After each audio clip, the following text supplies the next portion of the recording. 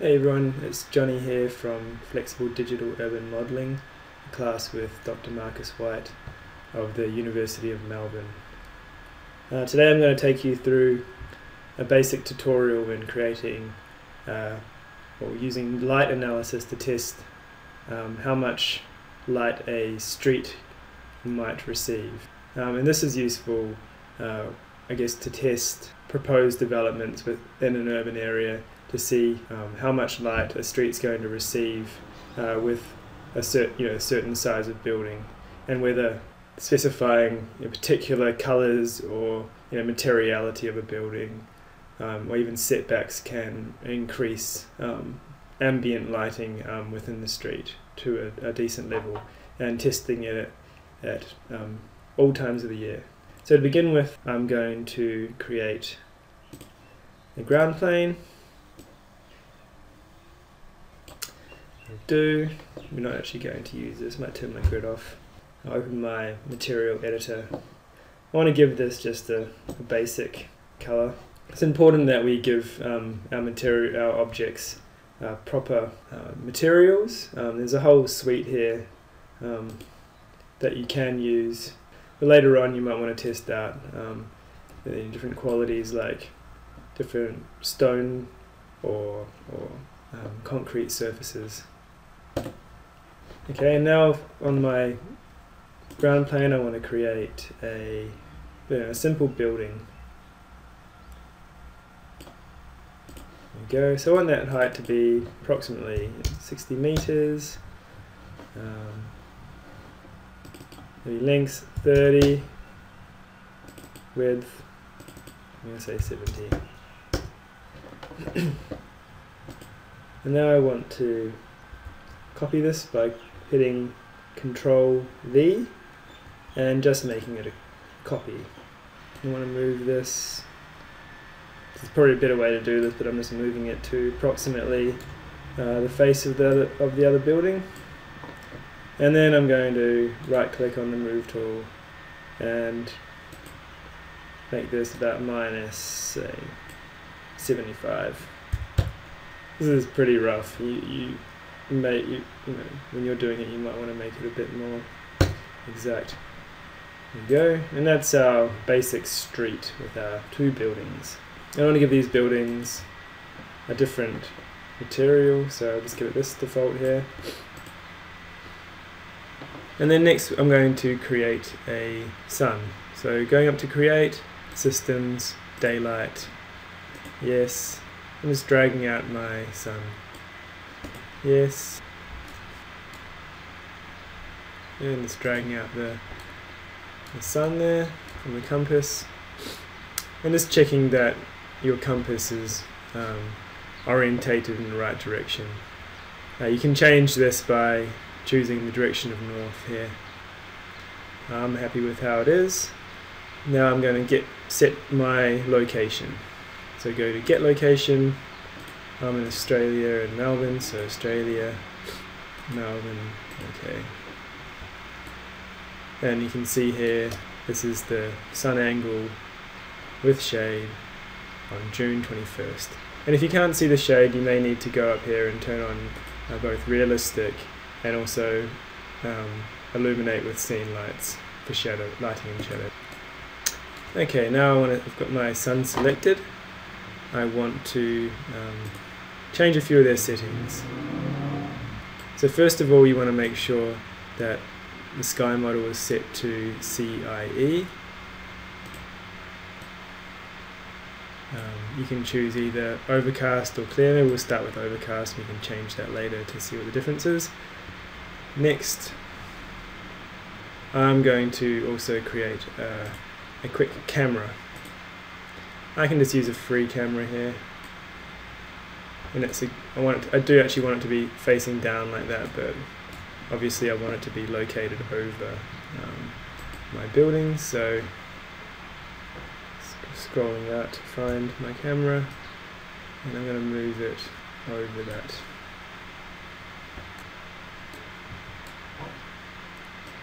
Moving it up. I might just turn on my camera. go to camera, 101. Right, so now I can sort of, I can see you know, where I'm moving my camera to a bit more accurately. Put it approximately in the center. And moving it away a bit. Okay, that's good. I actually set my daylight time, so go back to the modifier. I want mine to be. I guess this is probably the, you know the lowest, the lowest time that the sun is in the sky in Melbourne. Um, I'm going to go to setup and change it to about one o'clock. I want to maximize my camera viewport. Now I want to add a light meter. So going to light analysis, choosing lighting analysis assistant. First of all, it's good to check um, the status down here and it will tell you if there's any invalid objects. Um, if you have a number here, then you know, work out whether it's the lighting or materials and um, it gives you the option to to change these from within here, within the lighting analysis assistant. Uh, we are looking pretty good. Um, I'm going to keep it simple and use load lighting analysis render presets. Actually, maybe I'll choose render now.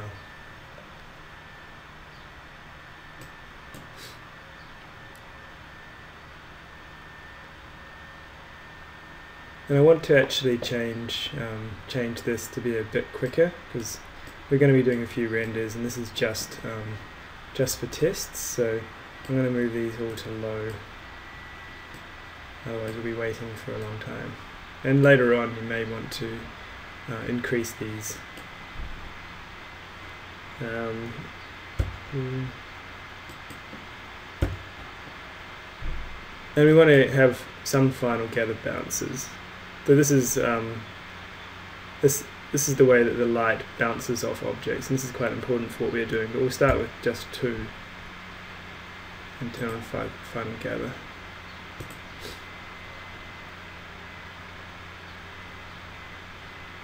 You can see here that it looks like our material is actually some sort of concrete, but that works fine. So, um, right, load lighting analysis, render presets. Go, then go to the analysis output tab and we want to create a light meter. So this button, drag that out.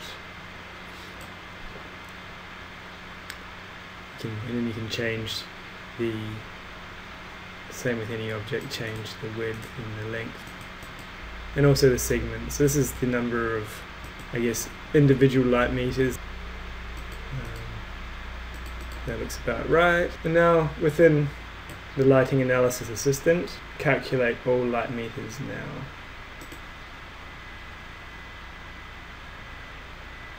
There we go. And I, want, I think we need to probably adjust our, um, our colors a bit. So we go back to General tab. Scroll down. And you can see here that the the maximum lux is set to 10,000 and I can see here that my maximum lux is actually you know, almost 15,000 so I'm going to put it up to 15,000 and that way we get some better um, sort of color gradients and you can see here that um, we're receiving a pretty decent level of light. So it's under half what it's what the, the light is um, outside of the shade. Um, and then we can test how this changes depending on, say, what material we give to our buildings. Yeah, at the moment this is quite light, so if I make this dark, like black, and then I hit analysis output, calculate all light meters now. And we can see here that the color of the building definitely makes a big impact. And then we can also, um, we want, if we want to create a render that has the numbers involved, we can go to lighting analysis create lighting analysis image overlay and, and scroll down. And I might I, think I want to change it to show numbers. Okay we can try and render. Clone this to compare later. Close this and then I might change my um, my building material to be white see how see what the difference is.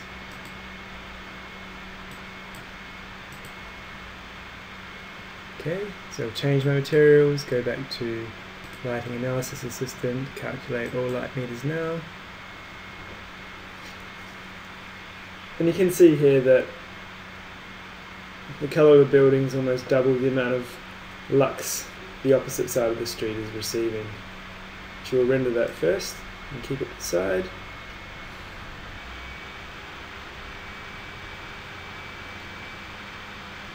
clone.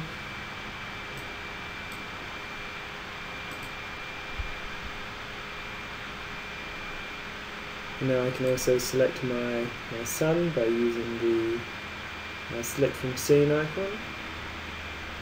Put daylight, okay. We'll modify and we'll change it to clear sky. We can see if this makes a difference. Again, go back to Lighting Analysis Assistant and calculate all light meters now. And you can actually see that with the, with the clear sky, actually receives less light. So I guess clouds help, that's understandable because clouds probably help to uh, disperse light more evenly through a space.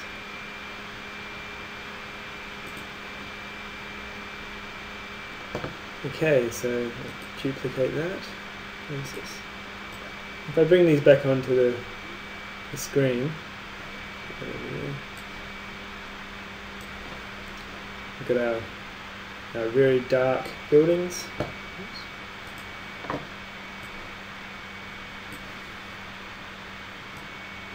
And our lighter coloured buildings.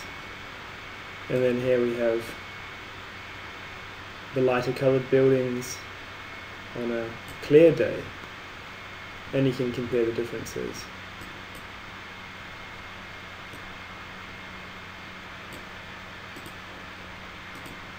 And from here you might want to also uh, manipulate the form of the buildings to see whether um, that how that impacts the light within the street um, and actually start using some specific materials that could be um, on site. I imagine that you could be quite accurate uh, with this kind of uh, modeling.